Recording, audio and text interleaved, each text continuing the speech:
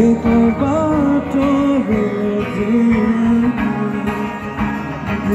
you.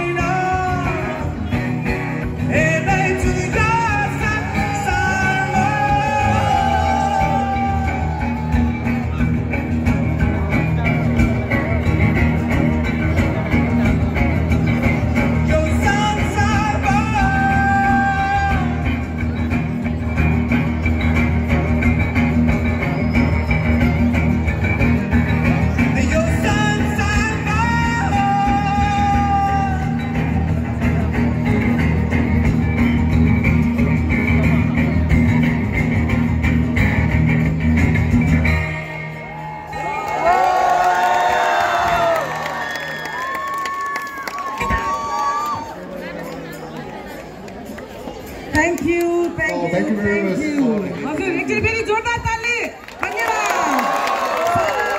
अभिषेक हजुर। अभिषेकको बारेमा म सानो जानकारी दिन चाहन्छु। हजुर अभिषेक विगत दस वर्षदेखि यो गीत सङ्गीतमा लागिरहनु भएको छ। उहाँ भन्नुहुन्छ there is all in the जिन रे हजुर नसा चाहिँ उहाँहरूको चाहिँ रगत चाहिँ उहाँहरूको चाहिँ सङ्गीत चाहिँ रगतमा दौडिरहेछ भन्नुहुन्छ। किनकि उहाँको आमापट्टि बुवापट्टि हजुर दुवै फ्यामिली चाहिँ गीत सङ्गीतमा लाग्नु भएको रहेछ।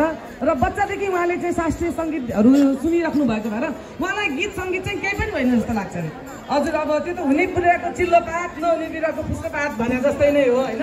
त्यसैले गीत सङ्गीतमा लागेर हामीलाई कानको बारे महत्त्व गरिदिनु भएकोमा दर्शाइदिनु भएकोमा र हामीले यो गीत सङ्गीत पनि कानकै मद्दतले सुनिरहेको छौँ हजुर।